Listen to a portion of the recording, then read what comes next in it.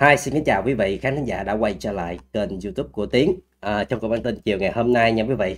Thì à, chiều ngày hôm nay à, Tiến có một số những cái tin tức à, muốn chia sẻ và gửi đến cho cô chú anh chị. À, à, Đinh Lan à Đinh Lan. À, cô tưởng rằng á là ai cũng ngu giống như cô hay sao? À, mà bài đặt à, làm một cái lá đơn tố cáo ngon á thì tại sao không làm cái lá đơn mà tố cáo á, gửi đến cơ quan chức năng mà lên tố cáo uh, trên mạng ha tò nào xử gì ai xử với cô vậy? Quý vị xem cái lá đơn tố cáo của Đinh Lan nha vậy. À, lại một lần nữa chúng ta thấy rằng là Đinh Lan lại tiếp tục vu khống à, cho cô Hằng và vu khống cho Đại Nam. Ngày tàn của Đinh Lan sắp đến rồi nha quý vị. Đây đây là nội dung ha à, tí sẽ đọc cho quý vị khán giả nghe Cộng hòa xã hội chủ nghĩa Việt Nam, độc lập tự do hạnh phúc, đơn tố cáo. Võ Minh Điền, chủ kênh Điền Đầu Cổ và Từ Tấn Hiệp, chủ kênh Lạc Phong đang được bảo lãnh đi Dubai và Trung Quốc để họp bàn cách giải cứu bị can Nguyễn Phương Hằng, vợ ông Huỳnh Huy Dụng, công ty Đại Nam. Kính gửi cơ quan cảnh sát điều tra, Bộ Công an. Đồng kính gửi cơ quan an ninh điều tra, Bộ Công an. Tôi tên Đinh Thị Lan, sinh ngày 2 tháng 5 năm 1976, số thẻ căn cước 008 ngày cấp tại Cục Cảnh sát đăng ký quản lý và ờ, uh, DLQG nè về dân cư tạm trú tại 140 sạc 22 Lê Đức Thọ, phường 6, quận Gò Vấp. Hôm nay tôi làm đơn này tố cáo hành động đáng ngờ của Võ Minh Điền khi giàu lên một cách bất thường và lôi kéo một số những người ra nước ngoài để ăn chơi và họp bàn cách giải cứu bị can Nguyễn Phương Hằng đang bị tạm giam gần 8 tháng tại trại giam T30 thuộc Công an thành phố Hồ Chí Minh. Sau gần 50 năm Việt Nam hoàn toàn giải phóng thì các thế lực thù địch vẫn xây dựng lực lượng, tổ chức và thực hiện nhiều kế hoạch chống phá nước dư tuyên truyền, xuyên tạc chủ trương, chính sách của đảng và nhà nước Việt Nam, lôi kéo móc nối, phát triển lực lượng vào trong và đưa người từ nước ngoài xâm nhập về Việt Nam để chỉ đạo thực hiện các hoạt động khủng bố phá hoại chống nhà nước Việt Nam. Hiện tại Võ Minh Điền và Từ Tấn Hiệp chủ bảy kênh Lạc Phong đang thực hiện ý đồ lôi kéo những người ủng hộ cho chúng để gia nhập tổ chức này ở Trung Quốc vì đoạn vì có đoạn clip bọn chúng vô tình tiết lộ sau khi ăn chơi xả ga ở Dubai thì uh, chúng sẽ đi Trung Quốc. Tôi xin trình bày sơ lược như sau. Ngày 8 tháng 6 năm 2021, tôi có lên mạng bóc trần sự thật về bà Nguyễn Phương Hằng, vợ của ông Huỳnh Thí Dũng, chủ tịch công ty cổ phần Đại Nam. Vì thấy bà Hằng vô lý tấn công thần tượng của tôi là ca sĩ Phi Nhung. À quý vị thấy không? Trong đoạn này cô ta lại một lần nữa, cô ta tự khẳng định lại một lần nữa là cô ta là tấn công bà Nguyễn Phương Hằng vì à, bà Nguyễn Hằng nói về ca sĩ Phi Nhung. Và chúng ta phải xác định như thế này nè, là cô Đinh Lan này hoàn toàn không có bà con họ hàng hay bất cứ gì hết. Nên uh, lý do tại sao mà cô Đinh Lan này tấn công chỉ vì một lý do ca sĩ Phi Nhung là hoàn toàn không thích đáng nha quý vị khán giả thì cái điều này nè sẽ là một cái bằng chứng mà sẽ cho cô Đinh Lan sẽ có cái phải đáp trả trước phiên tòa sắp tới nha quý vị Bà Hằng tức tối đã vu khống tôi là chủ mưu trong cuộc chỉ đạo cho Mai Xuân Cường bắt cóc con trai 10 tuổi của bà tên là Huỳnh Thằng Hữu. Ngoài ra bà Hằng còn thường xuyên lên mạng nhục làm nhục tôi với nhiều những từ ngữ tục tiểu. Thì ờ, em xin nói cái khúc này nè, quý vị nhớ không? Là à, chúng ta chỉ tính từ khi mà cô Đinh Lan này xuất hiện trên mạng thì đã hơn một năm rồi vị một năm mấy tháng rồi. Nhưng mà cô này ít nhất một ngày từ 1 đến 2 clip hoặc có khi nhiều hơn và ít nhất một ngày từ 1 đến 2 tác cộng đồng. Vu khống bà Nguyễn Phương Hằng. Thứ nhất chúng ta thấy điều gì? Là vu khống bà Nguyễn Phương Hằng nè là phản động nè. Vu khống bà Nguyễn Phương Hằng vay nợ nè. Vu khống Đại Nam bán nè. Vu khống ông Huỳnh Thi Dũng uh, là lừa đảo chiếm đoạt đất đai nè và rất là nhiều cái. Và trong suốt hơn một năm qua à, thì vậy rằng á, là ai đang vu khống? Và chúng ta cho đi. Bây giờ cái lá đơn của cô Đinh Lan này đang được cơ quan chức năng thủ lý và đang điều tra và sẽ khởi tố. Nhưng mà bà Nguyễn Phương Hằng đã bị bắt trong T30 hơn gần gần 8 tháng rồi. Vậy mà cô này vẫn ga gã trong 8 tháng qua để mà tiếp tục lên để mà vu khống xúc phạm bà Nguyễn Phương Hằng. Vậy cho tôi hỏi rằng là ai à, là xúc phạm ai. Và đây sẽ là cái mà cô Đinh Lan này chắc chắn sẽ không thoát được trong cái phiên tòa sắp tới khi đối mặt diện với uh, tòa án và khi đối diện với cơ quan chức năng và khi đối diện để đối đáp với bà Nguyễn Phương Hằng trong phiên tòa sắp tới như vậy. Đây khi bà chửi tôi uh, nhục mạ tôi thì các kênh YouTube YouTube đi theo bà ấy cũng vu khống làm nhục tôi trong một thời gian dài. Điển hình là sáu kênh chuyện đầy thường và kênh Điền Võ, Điền Võ Vlog đã tấn công vào nhà tôi vào các ngày ngày 26 tháng 1, ngày 9 tháng 2, ngày 11 tháng 2, ngày 14 tháng 2, ngày 7 tháng 3, ngày 11 tháng 3 bọn chúng livestream vu khống Đinh Lan lừa đảo tiền của Thịnh của tên Thịnh 104 triệu đồng khi tôi không hề nợ tên Thịnh là một xu. À cái này á quý vị thấy á trước khi mà à, câu chuyện này xảy ra thì chúng ta biết rằng có có anh lên anh Thịnh anh lên anh nói rằng là cô Đinh Lan này đang nợ tiền của ảnh và cái tiền đó là tiền gì? Tiền đó là tiền xây nhà cho cô Đinh Lan này. Và cô Đinh Lan này không trả tiền mà nói thật sự chứ trên đời chứ thế chưa gặp một ai như trường hợp này quý vị. Đã đi lừa đảo tiền người ta rồi còn nó muốn vu khống còn muốn giật tiền người ta trắng trợn như vậy. Phải di dạng như là đi lừa đảo đi giật tiền một người nào đó giàu có không nói gì. Nhưng mà quý vị thấy không một cái người mà người ta làm nhà cho cô này à, cho cô này có chỗ ăn có chỗ ở có chỗ ngủ à, và cho cô này để cắt cái từng phòng để cho người ta thuê lại để có tiền. Vậy mà số tiền á quý vị đi làm nhà thì có bao nhiêu tiền đâu mà lại đi nợ người ta lại 104 triệu đồng. Khi mà người ta đòi người ta không trả tới người ta bức sức quá người ta phải căng cái băng rôn lên. Mình nói thật chứ vậy nếu mà không có nợ ai dám căng băng rôn lên đinh lan trả nợ cho tôi đi. Sao không dám ra gặp mặt? Đúng không quý vị? Đó vậy mà bây giờ vì không lại tiếp tục vu khống. À, từ cái câu chuyện lừa tiền của người ta mà vu khống ra là tên thịnh này lại được à, anh thịnh này lại được nhận tiền của bà nguyễn phương hằng để làm những điều này thì cái này là sẽ là một vu khống nữa. Nếu mà ra tòa à, anh thịnh trình bày hết tất cả những cái nội dung à, liên quan tới mình và trình bày được những cái hóa đơn chứng từ mà cô Đinh Lan này thuê mướn anh Thịnh để làm nhà mà không trả tiền á thì chắc chắn rằng đây sẽ là một cái điểm mà để cho tòa sẽ nhìn ra cái bộ mặt thật của cô Đinh Lan này trong phiên tòa sắp tới như vậy cô này đang dần dần vậy nó thật sự đang dần dần đi xa đó quý vị dạ ha. Nên quý vị nhà yên tâm ha. Ngoài ra kênh chuyện đời thường và tên võ minh điền làm nhục tôi về việc tôi từng là bồ cũ bồ của tên chuyện đời thường và nhiều lần cả hai tên này nói tôi đi làm ỷ bên Lào và ăn cắp cái bóp của khách chơi. Với giọng điệu cực kỳ khốn nạn diễn ra một thời gian dài khi bà Hằng, Đinh Thị Lan, ca sĩ Đàm Vĩnh Hưng, ca sĩ Thị Tiên, Công Vinh thì các tên này tấn công dữ dội, thậm chí tên Điền Võ Minh Điền còn công khai treo giải thưởng cho năm tên đàn em của hắn đánh tôi và tôi uh, và tên Điền sẽ xóa nợ cũ và còn cho thêm hẳn 10 triệu đồng.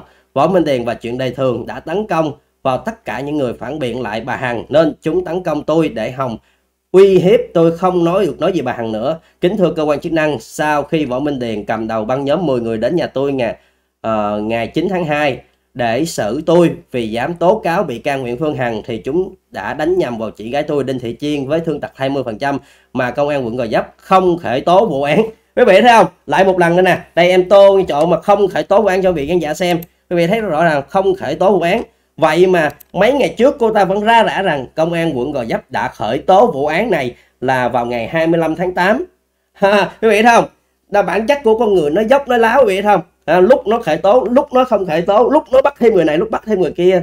À, và quý vị ha, có rất là nhiều những cái video mà cô này à, những status đó, cô này tiến cũng đã chia sẻ vì là cô này à, vu khống à, cho công an quận Gò Vấp thậm chí là cả chủ tọ và một uh, trưởng công an Gò Vấp nữa thì chắc chắn rằng em không uh, nói quý vị chắc chắn rằng cô này sẽ có những cái hành vi vi phạm và cô này sẽ chịu trách nhiệm pháp luật trong thời gian sắp tới ngắn hơn vậy khán giả em không bao giờ mà chia sẻ mà chưa khẳng định một điều gì đó. Nhưng mà em nói gì rồi vì hiểu ha. Đã 8 tháng trôi qua, võ minh điền vẫn tiếp tục ra nước ngoài để tuyên truyền tổ chức đấu tranh đòi nhân quyền cho bị can nguyễn phương hằng để chuẩn bị ra xét xử. Ha cái này câu chuyện nào là ra chuyện đó nha quý vị ha. Tuy em không thích võ minh điền, nhưng mà cái việc mà cái ông điền này á, võ minh điền này ra nước ngoài á, là cái câu chuyện của người ta hoàn toàn không liên quan tới cô nguyễn phương hằng à, không bạn chứ không có liên quan mà cô này vẫn tiếp tục lôi cô nguyễn hoàng làm đề tài để mà câu view câu like bất chấp. Thì cái việc này mình nghĩ rằng sẽ là một cái tội mà cô đinh lan này sẽ không chối cãi được nữa đúng không? Việc của tôi bây giờ không quan trọng nữa vì võ minh điền có thể không trở lại việt nam nữa và sẽ ở nước ngoài điều khiển cho đàn em tiếp tục lôi kéo người khác theo phe bọn chúng để hòng gây gói an ninh chính trị quốc gia việt nam. Hiện tại võ minh điền đang có hơn 30 người tố cáo võ minh điền cầm đầu với nhóm người đi uh, nhóm người đi truy xét nhiều người phản biện bị can Nguyễn Hằng. Tôi không nghĩ nghi ngờ Võ Minh Điền bị nhóm phản động bơm tiền và tài trợ cho chúng đi chơi, đi hưởng thụ những thứ đắt đỏ nhất trên thế giới và học cách chống phá Việt Nam. Tôi cam đoan toàn bộ những nội dung tố cáo và tố cáo uh, phạm tội trong đơn này là sự thật. Nếu sai tôi hoàn toàn chịu trách nhiệm trước pháp luật. Ờ, ngày 10 tháng 10 năm 2022 nè quý vị thấy không là đơn tố cáo mà đơn tố cáo trên mạng quý vị có vậy không à, quý vị thấy không? Đó hành động của ai? Quý vị thấy không? Lại hành động lôi đến nhà người này người kia lại ảnh hưởng tới cô hằng. Là ai? Có phải là tên điền này không quý vị? Đó bây giờ có đinh lan này không? Nó bị cái gì ra? Nó cũng nói cô hằng hết vậy tôi hỏi quý vị rằng đó, nó đang binh hay đang bảo vệ cô hằng? Đúng không? Đó. Và bây giờ nè đi ra ngoài nước ngoài nè thì một số những nội dung cho rằng là anh này anh đi ra nước ngoài á là để mà huấn luyện này kia á thì tự quý vị khán giả hiểu thôi. Thì những cái điều này á là không nói ra được nhưng mà có nhiều cái á chỉ là nói như vậy là chúng ta sẽ hiểu được là cái vụ việc nó như thế nào rồi. Còn khẳng định với vị khán giả cô Đinh Lan này chắc chắn rằng là có những cái hành vi vu khống rồi. Vu khống rất rõ ràng. Trong lúc bà Nguyễn Phương Hằng đang bị tạm giam mà cô ta vẫn tiếp tục vu khống vậy hai người này là như thế nào? À, quý vị thấy không? Mượn hình ảnh của Hằng để đến nhà người này người kia sau đó lại tiếp tục uh, cho cái người kia phản đối để lôi hình ảnh của Hằng vào nữa. Thì quý vị nghĩ xem người nào đây còn chiêu trò nữa nha đây tiếp tục cho biển giả xem nè. Đây quý vị thấy không? Đây không? Đây vị thấy không?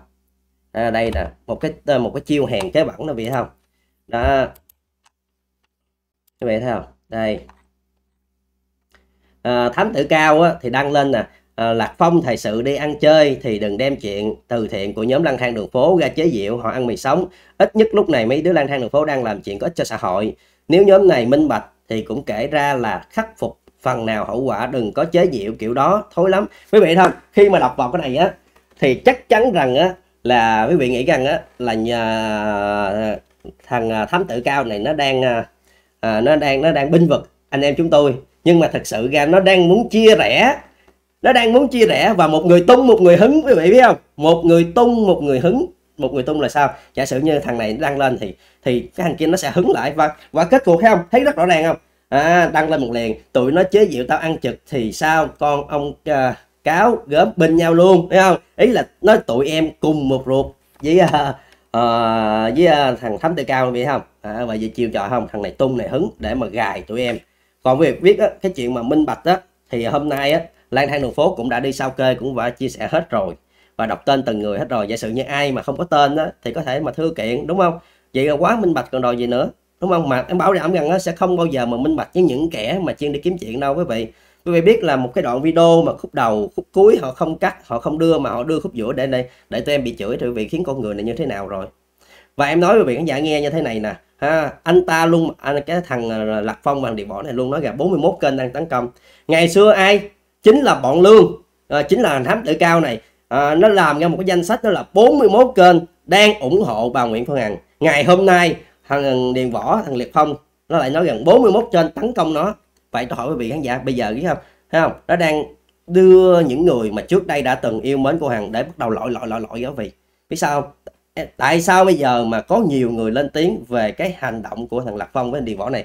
Không phải ghen ăn tức ở vậy không phải ghen ăn tức ở mà người ta đã thấy được bộ mặt rồi nhưng mà bộ mặt của nó là bẩn bựa rồi từ việc bán cái này bán cái kia lợi dụng hình ảnh của Hằng. Nhưng mà thôi cái đó là cả là cái mà mưu sinh là cái chiêu trò của tụi nó nên không ảnh hưởng tới người khác nên người ta không nói. Nhưng mà bây giờ cái ý đồ và cái âm mưu của tên này á, là nó xa hơn. Là nó muốn trong thời điểm này nè thời điểm rất là mẫn cảm để cơ quan chức năng nhìn vào câu chuyện của cô Nguyễn Phương để cơ quan chức năng nhìn vào để có thể mà cho phép gia đình của cô Nguyễn Hằng để mà bảo lãnh cô Nguyễn Hằng ra ngoài nhưng mà tụi nó không muốn như vậy quý vị nhà tại vì tụi nó nếu mà cô Hằng ga, cô Hằng bảo lãnh chỉ cần cô Hằng nói một tiếng thôi thì chắc chắn rằng toàn bộ kế hoạch của nó đã bị xóa bỏ hết. Bởi vì tụi nó bây giờ nói là cô Hằng là phải chiến đấu tới cùng là không được nhận sai và gia đình của cô Hằng cũng không được làm đơn để xin miễn giảm. Và cô Hằng phải chiến đấu bởi vì vậy mới chính nghĩa không thì tụi nó sẽ quay xe. Các bạn thấy không?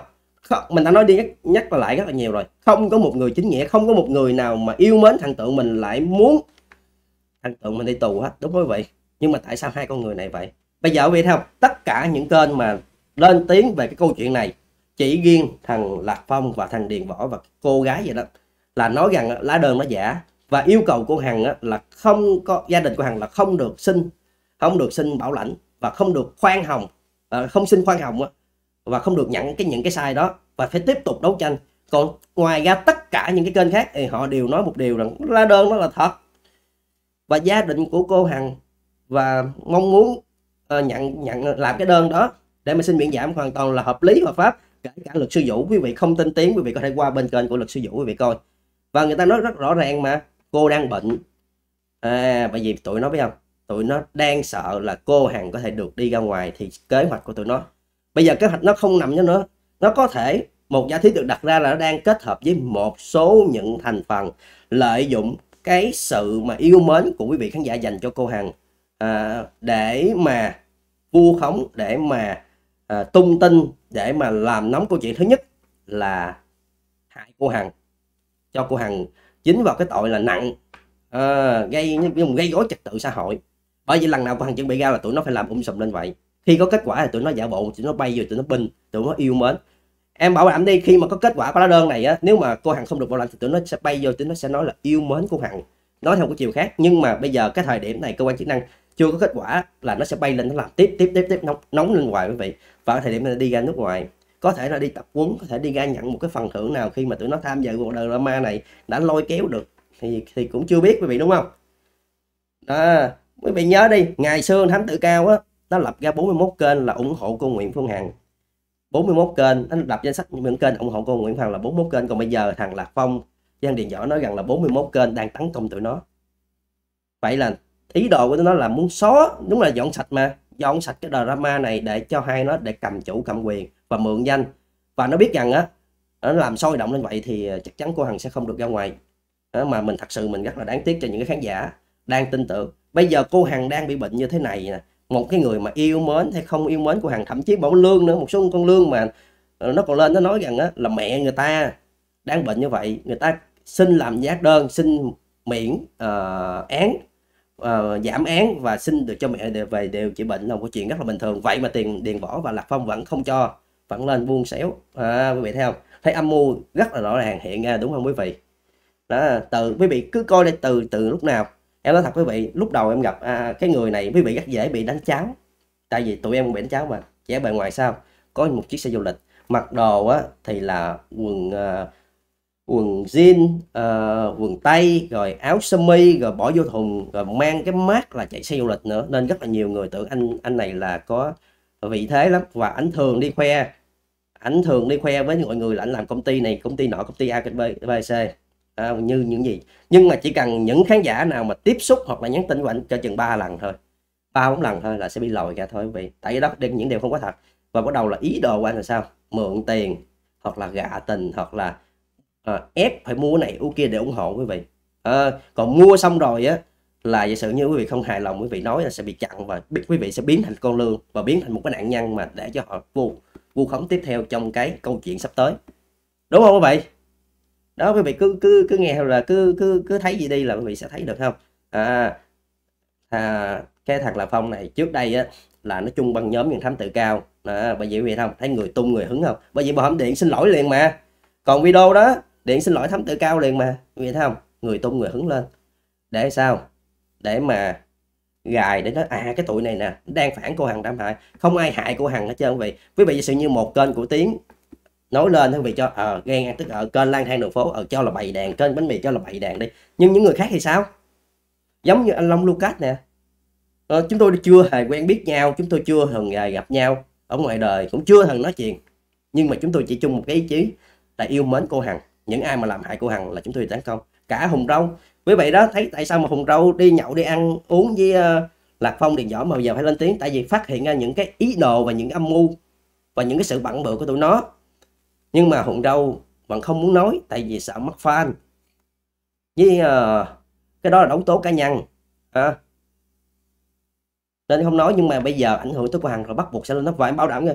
Một hai ngày tới thì sẽ có nhiều kênh lên tiếng nữa. Lúc đó quý vị sẽ nhận ra được bản chất của hai con người này như thế nào nha quý vị. Đáng hại dù biết rằng lá đơn nó thật đó bây giờ đừng ai nói rằng lá đơn đó là là không thật hết. Đừng nói chiêu trò báo chí bây giờ là không có một báo chí nào mà dám mà tung một cái tin như vậy mà chia sẻ hết tất cả những mặt báo đâu vậy. Bây giờ kể cả quý vị thấy không?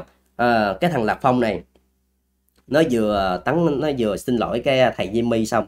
Ở bên thầy ờ, ở bên luật sư Kim xong quý vị không? Ngày hôm sau cái nó lên nó tố cáo là ông một ông luật sư già à, đang hăm dọa nó. Rồi xong tự nhiên tự nhiên trên mạng trên Facebook lại có một cái trang đó là trang Hà Lê đăng này luật sư ờ, là à, à, luật sư Kim đang à, hợp tác đang bắt tay với à, thám tử cao. Đang thám tử cao à, để mà âm mưu hại cô Hằng. Quý vị thấy không? Âm mưu hại cô Hằng. Đó. Và quý vị nếu mà tiếng đó không lầm nếu mà cái bước bước đi của nó không ấy á, thì cái thằng thám tử cao này sẽ lên giả bộ gần á, là nó sẽ là binh bảo vệ ông luật sư kia à, bảo bảo vệ luật sư Kim để cho mọi người sẽ nhìn thấy rằng là là họ đồng đồng bọn. Nhưng mà đây là một cái chiêu trò thôi. Mà hơn một cái cái điều mà nó không muốn muốn nhất lúc này á là quý vị biết không? Thì ngày hôm qua chính thức Hà Lê chính chủ như vậy quý vị cứ cứ lên kênh Hà Lê YouTube Hà Lê quý vị à, xem. Thì Hà Lê cũng đã lên tiếng về cái vụ việc là những cái trang Facebook đó không phải của Hà Lê và Tiến cũng đã từng chia sẻ rồi. Nhưng mà một số cô của anh chị không tin. Cứ tưởng đó là Hà Lê là trợ lý cũ của cô Hằng lên tiếng nói về vấn đề này thì tin. Nhưng mà bây giờ quý vị anh chàng cũng đã thấy rồi là không phải cái điều đó. À, mà những con người này họ bịa đặt lên biết sao không? Họ dựng lên câu chuyện xong rồi họ hợp tác với một số người. Xong rồi họ lại lên giả bộ những cái người mà trước đây đã từng à, là quản lý của cô Hằng á thì lên giả bộ xác nhận những thông tin đó. Thì dần dần kéo theo cái lượng fan đó đó bởi vì bị ổi nhá nhà lên ngày hôm qua đã lên tiếng rồi. Thôi để tiếng bắt cho quý vị khán giả nghe nha. Đây nè. À, quý vị khán giả có thể thấy không? À, đây là cái trang Facebook. Bây giờ được 1.171 à, người đăng ký nè. À, lên mới lên là hãy tỉnh táo trước những thông tin nè. Chụp lại cái hình. Đây chụp lại cái hình. Sao quý vị không thấy? Đây chụp lại cái hình mà cái tab mà trên Facebook á. Để tên là Hà Lê á. Nghe quý vị nghe Hà Lê nói nha.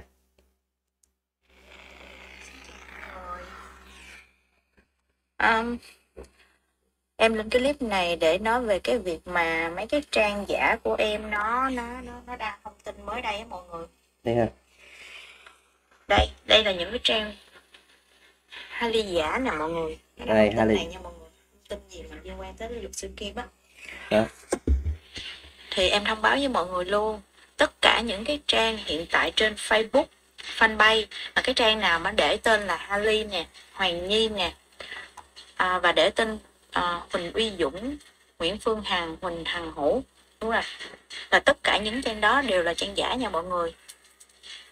Bởi vì bây giờ không có có ai mà mà mà mà rảnh để mà lên hả đăng những cái thông tin như vậy để gây bất lợi cho cô hết trơn á. Chỉ có những cái cái cái cái tội không đàng hoàng nó mới làm điều đó thôi. Nó mới có thể làm những cái chuyện mà à, gây ảnh hưởng cho cô. Với lại á nó lấy cái tên đó để chủ yếu là câu view nè câu like nè. Thì em không biết cái mục đích thực sự của nó là gì nhưng mà nó làm như vậy là nó nó nó nó gây ảnh hưởng lắm luôn á mọi người. Với lại á, nhiều người không biết những cô đó mà mày thấy chưa? Những cái người mà sử dụng ờ, hình ảnh tên của hàng trong thời gian qua như hành lên đó gây ảnh hưởng lắm luôn á. Mà em nói với viện khán giả không tin đâu. Bây giờ với em trợ lý cũ của cô hàng cũng đã lên tiếng rồi rồi bị nghĩ sao? Chú lớn tuổi người ta sẽ không biết những cái trang đó là cái trang giả. Cứ nghĩ là cái trang đó của em.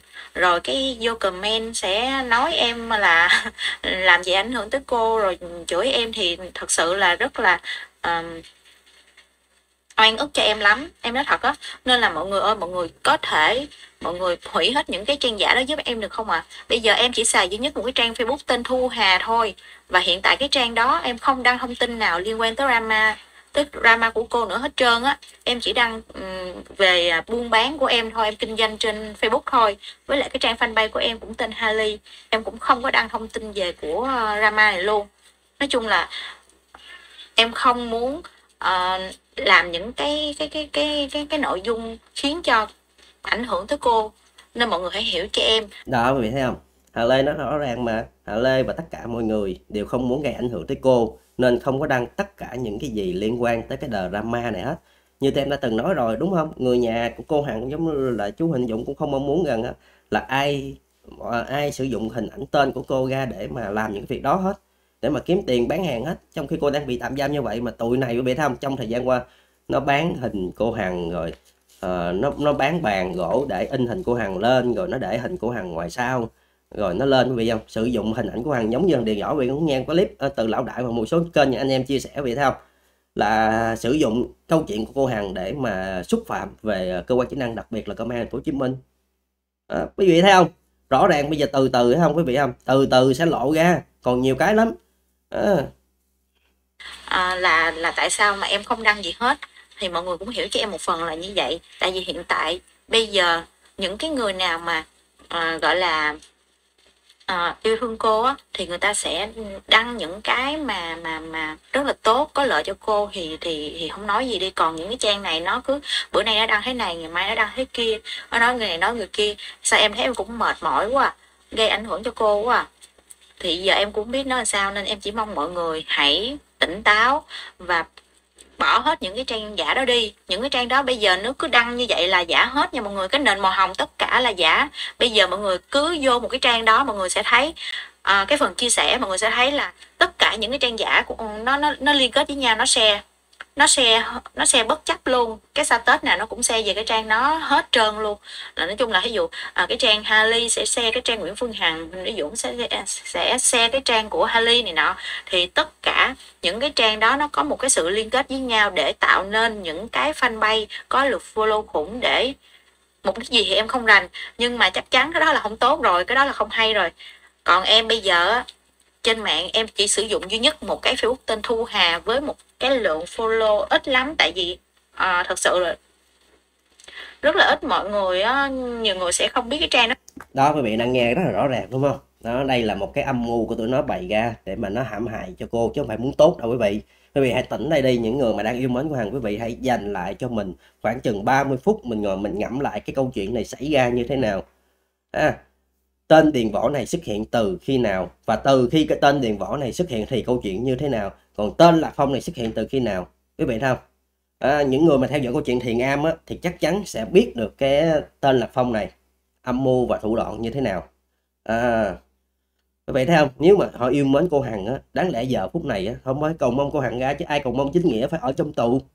Đúng không? Và một số những cái người á đừng có tại đừng có giả danh đừng núp lùm những con lương đừng núp lùm mà giặt vô nói rằng á là chúng tôi cấu xé hay là gì hết không? Không có chung đồng bộ những người mà hại cô hằng á. Mượn danh của hằng mà hại cô hằng là chúng tôi bạch mặt hết đừng có đừng có giả bộ ở đây núp làm gì hết đúng không? Này giống như vậy thấy không? Đây nè nó công kích tụi tôi nè vị thấy không? Đây để cho vị nhà coi nè không? Đó. Mấy vị thấy không?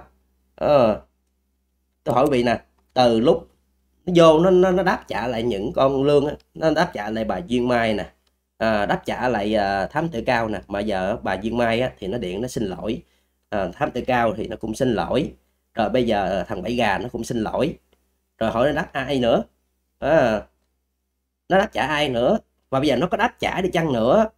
Thì nó vẫn cái thằng phân phong này nó vẫn hề hề nó vẫn xuất hiện trên mạng để mà tiếp tục vu khống nó làm được gì? Bởi vì em nói rằng tất cả những cái gì mà đem lên mạng xã hội này chưa chắc gì giúp được cô đâu. Chẳng ai giúp được cô ngoài bây giờ là luật sư và người nhà của cô.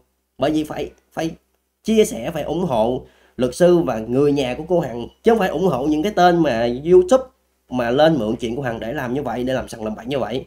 Đó là cái mà tại sao mà bây giờ bị thấp tới bảo đảm nữa. Một, hai ngày tới nó sẽ có một số kênh rất là lớn, để tiếp tục lên chia sẻ vấn đề này quý vị sẽ nhận ra được bộ mặt thật của hai con người này. Đó quý vị không? Bây giờ cô á, bây giờ người ta đang lo mong muốn cho cô được tại ngoại xong ở đây nó truyền thông tin ra cái thông tin đó là giả xong nó bay ra nó đi Dubai nó chơi. Nó vui vẻ đúng rồi nó vui vẻ rồi tại vì cái kế hoạch đó được đã được thực hiện rồi âm mưu đã thực hiện rồi. Và giờ họ vui vẻ họ đi qua bệnh để mà tập huấn để mà nhận tiền thôi.